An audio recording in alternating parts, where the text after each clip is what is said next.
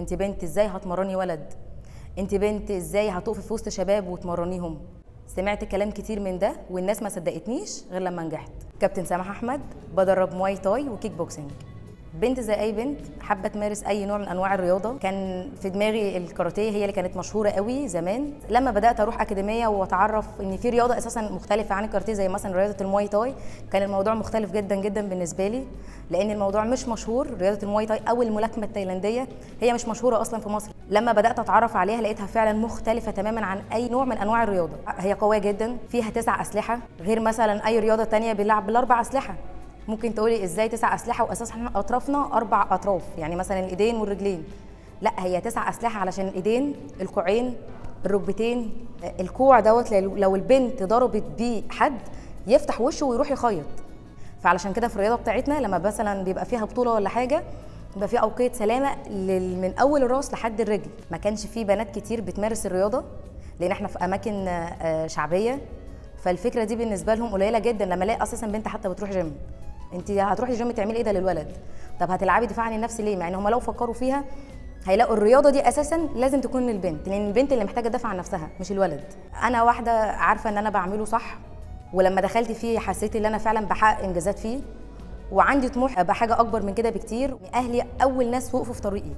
يعني مهما حد يحكي إزاي أهلك ما وافقوش أنا أهلي كانوا ضد الموضوع ده خالص.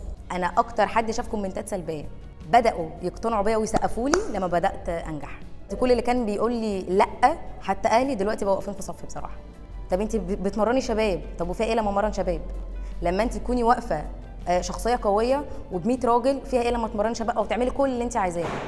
طول ما انت في الحدود وطول ما انت في الأدب طول ما حدش يقدر يتطول عليكي بكلمة واحدة أنا بعرف أتعامل مع أي فئة. أي نوع. أنا هنا شغالة في منطقة شعبية فتحت بدل الفرع اتنين وبفتح في التالت. عارف يعني إيه منطقة شعبية؟ يعني بنت بتمرن ولد أنا هخش التمرين عشان أعرف بقى إيه اللي بيحصل. فهو بيدخل التمرين. عينه ما تقدرش ترفع من الأرض. ده طبعا معاملتي أنا ليه.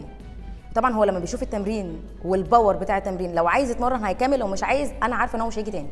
حققت حوالي 14 15 بطولة يمكن أكتر من كده مش فاكرة بالظبط. فيهم محلي فيهم جمهورية.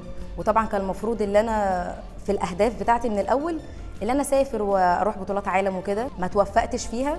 ودلوقتي اللهم لك الحمد عندنا عندنا لعيبة في منتخب مصر وقريب جدا أفرح بحد فيهم بقى مكاني. لما أكلم ولي أمر أقول له آه مثلا بنتك جاية معايا بطولة هنقعد أسبوع بره ما يتكلمش معايا نص كلمة. قال يا كابتن أنت محل ثقة أنا سايبها مع أختها الكبيرة والدتها.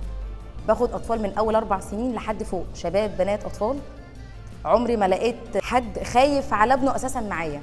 عندي لعيبة أنا راضية باللي هم بيعملوه اللهم لك الحمد وشايفة النجاح ده فيهم.